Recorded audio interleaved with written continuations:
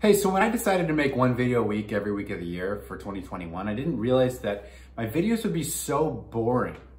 How much detail do you need? Do you want to see me knead pasta for a long time? Or do you want like a TikTok, you know, like set to the Black Eyed Peas music or something? So I'm gonna go back and just kind of re-record some commentary, I guess, throughout this video, just to make it not so boring and terrible. Oh, I don't know. I'm just trying stuff. All right, guys, I've never done this before. Just seeing what sticks. It's not easy. For some people, it's easy. It's not easy for me. I'm not great at this. These videos have almost completely taken the fun out of cooking for me. So we'll see what happens. Hey, what's up guys? Welcome back. Today I'm gonna be making butternut squash agnolotti. Gross. This is one of my favorite dishes that I make. I say every dish is my favorite. on. Instagram. I make it all the time. It's a fresh uh, pasta ravioli. Agnolotti is just the shape of, of ravioli, and um, it's probably my favorite. There's just not a lot of waste.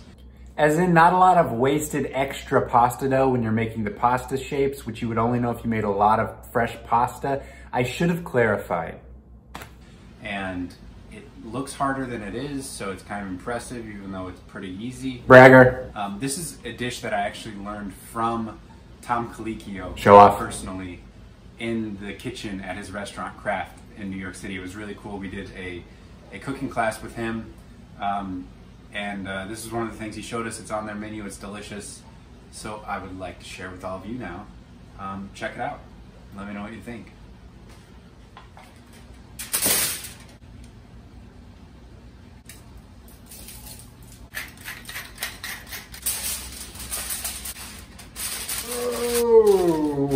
It up.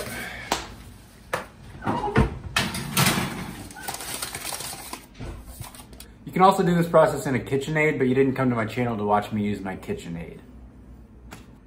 Don't forget where you put your ring.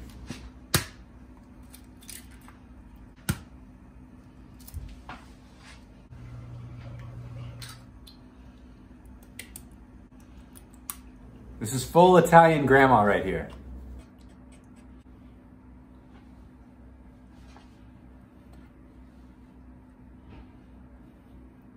Getting bored. Maybe this watch review will be more exciting. between the 14,000 and the 14,010 is that the 14,000 has a smooth bezel where the 14,010 has an engine turned be- uh, bezel. But really both great models, you know, 89 to 2007. Um, the Air-King continues to be a, you know, somewhat polarizing piece at 34 millimeters. It kind of was.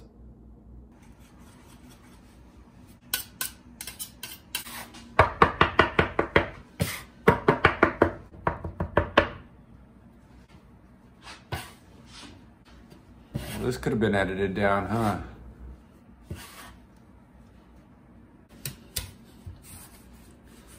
Yeah, I needed this for a solid 15 to 20 minutes. All right, this is kind of important. Here I'm showing you how to do a proper knead. Proper knead, a proper knead. That's what I'm showing you. So you push it away, turn it one quarter, turn, push it away, repeat, repeat, repeat. Okay, a couple tips. So I'm using bread flour for this. It's called double O flour. Um, it's finer and it gives you, uh, it develops gluten a little bit better, so it gives you a better texture for your pasta. If you have all-purpose flour, that works uh, great as well. But Are you sure about if you can find double O bread flour, it's the best. Um, and with this, what we're wanting, we're looking for a smooth ball on the outside that springs back when you push it. So I'm, I'm pretty much there. I just dusted it with a little bit extra on the top of flour because it was kind of tacky. And as it sits and rests in the fridge, um, it'll kind of, the moisture will penetrate through the, Hydrate. through the, the ball and it'll get a little wetter than it feels right now. Hydrate. So um, it's better to be a little bit on the dry side at this stage because once you wrap it up and put it in the fridge, um, again, it's gonna hydrate a little more than it is right now, but we're almost there. Always slap your dough. All right, I think we're good. See, when you push it, kind of springs back. That's what you want. Uh, so we're gonna wrap this up, put it in the fridge. Um, I'm actually gonna probably put it in overnight because uh, I'm running out of light and I will do this tomorrow. Um, but you can refrigerate it wrapped up for a day, maybe a day and a half. Um, but it does need to rest for at least 20 to 30 minutes before you move forward at this step to let the gluten relax and it'll be much easier to roll out.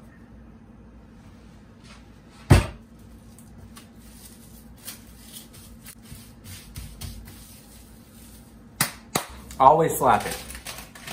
So once this is really nice and soft, like I did about an hour at 375 degrees. Uh, we're gonna put it into a pan and add a little bit of uh, stock to it, some chicken stock or vegetable stock, whatever you want, uh, and then kind of mush it up Mush and it up? cook it down until Could I all the moisture cooks out, so it's pretty dry.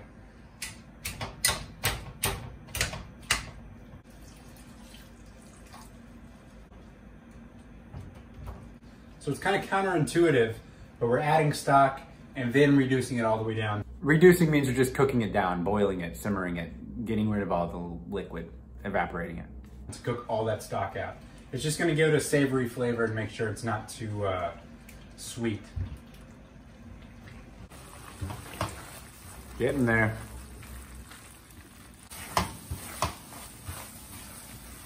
Now that this is all cooked out, it's pretty much dry. I'm gonna let it cool off. I'm gonna put it into a piping bag. If you don't have a piping bag, But why wouldn't you have a piping bag? um, you can use a, a Ziploc bag and just cut the corner off. Uh, but these are cheap and uh, make it way better. So look for a piping bag somewhere. Amazon. Come on. Hey, that's free promotion, Amazon.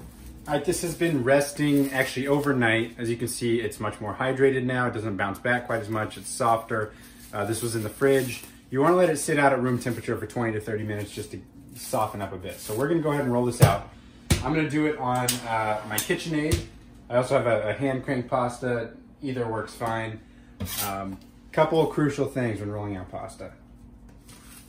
All right, so you get you get a piece. So a very important step is called laminating. Laminating, this is important. So what we're gonna do is we're gonna go through the first one a couple times, then we're gonna fold it over itself and go through a couple times again, fold it over, do that. So you're really making layers. Like you're making a you're kneading the dough even more, and that's gonna give it a really nice uh, al dente-ish um, texture. I mean, fresh pasta is never gonna be truly al dente, but it'll give it a good a good bite.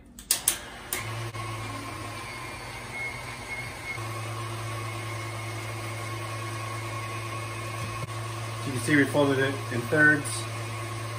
Go through again. And do that again.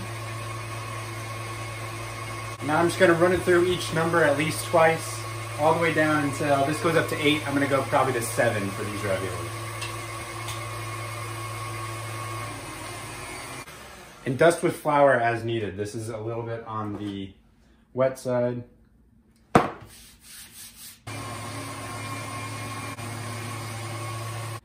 Now we're gonna fill it up, make some agnolotti.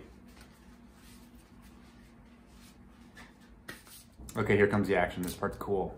I'm just gonna mist this with water.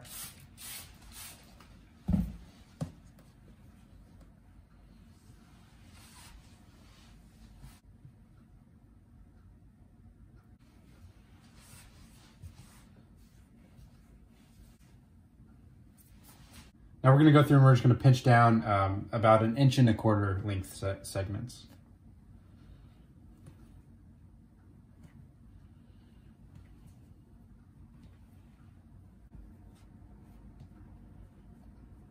And we're gonna clean off. We're gonna leave about a quarter of an inch uh, at the end of the shape and clean off this excess.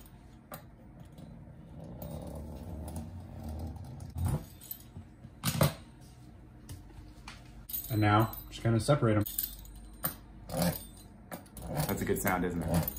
There you have it. Butternut squash agnolotti. Look at that. Little perfect pillow shape. How delicious does that look? That's it. To finish these pastas, I'm gonna boil up some water here, and then I'm gonna, I just serve them in a beurre monté, which is uh, water that you whisk cold butter into, and it makes kind of velvety sauce, and then some parm on top. Um, it's delicious. and it's easy, and uh, I'll show you how to do it right now. Starts by bringing some water to a simmer, then we're just gonna whisk in cold butter.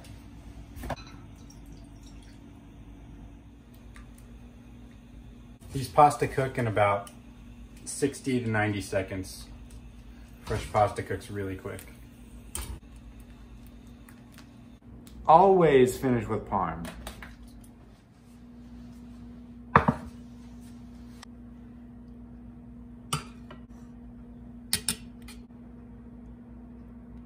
Pretty delicious.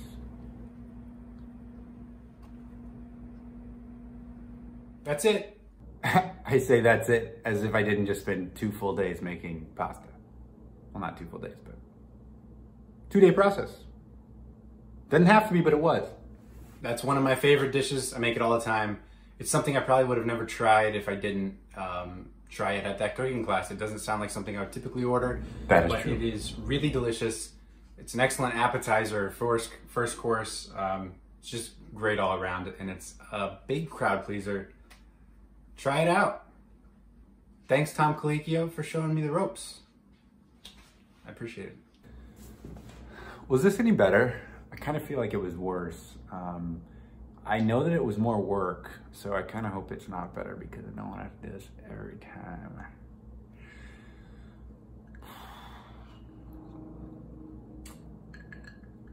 Anyways, thanks for watching.